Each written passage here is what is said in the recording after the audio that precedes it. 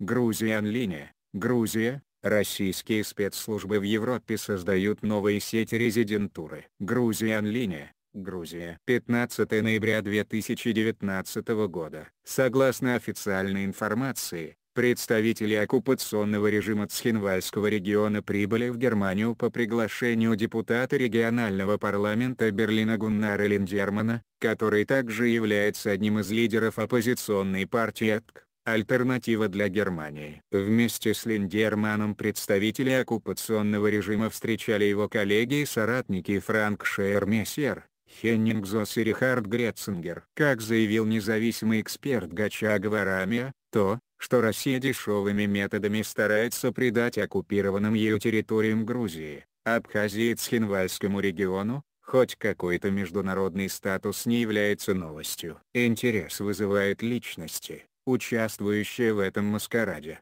заявил Гварамия. Все четверо, Лендерман, Шейер Мессер, Зос и Гретцингер, это люди, которые в нарушение международных прав не раз посещали оккупированные Россией территории как Грузии, так и Украины. Более того, принимали участие в качестве так называемых международных наблюдателей на разных выборах, проводимых на этих территориях. Они не раз заявляли о легитимности признания Абхазии Цхинвальского региона.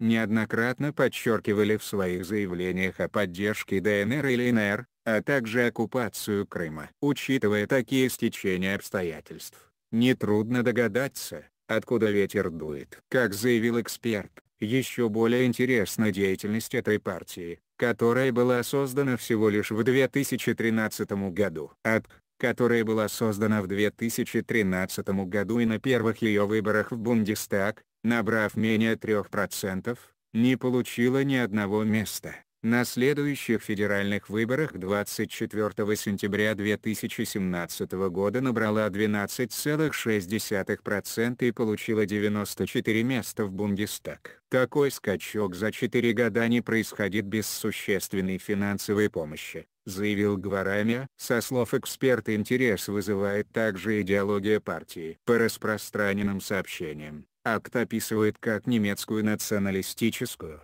правопопулистскую евроскептическую. По тем же сообщениям, партия имеет расистские, исламофобные, антисемитские и ксенофобные тенденции, связанные с ультраправыми движениями, такими как неонацизм и идентаризм, белонационалистическое движение, которое поддерживает идеи культурного расизма, ксенофобии, создание государств только для белых. Именно распространение и поддержка таких идеологий, на основе которых создаются разного рода политические партии, религиозные фундаментальные организации, террористические организации, являются сферой деятельности российских спецслужб.